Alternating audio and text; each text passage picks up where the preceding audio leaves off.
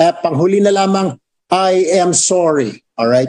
I apologize po kung kayo po ay ah, hindi nabigyan ng ah, cash ayuda. Pero wala po akong sinabi na lahat kayo bibigyan ko ng cash ayuda today.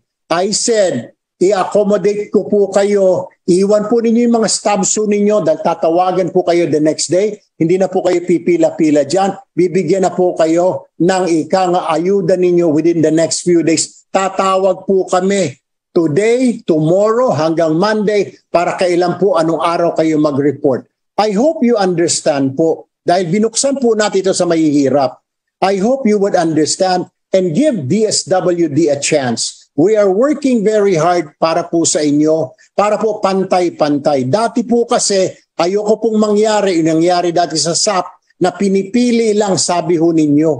Reporter po ako noon nung nakarating ho sa amin na pinipili. Ayoko pong mamili, kaya ginawa ko po, DSWD na po ang kaharap ninyo. I ask you, I ask you Friday on my Facebook page, anong gusto nyo, barangay, sa barangay tayo o sa DSWD? Most of you said DSWD na lamang po dahil walang pinipili. DSWD na lang po dahil wala pong indigency certificate. So here we are. Ito ho tayo ngayon. May pila ho tayo. Ang hinihingi ko lang bang po, konting pag-unawa po at pasensya. Ako po si Secretary Erwin Tulfo. Maraming salamat at magandang hapon po sa inyo lahat.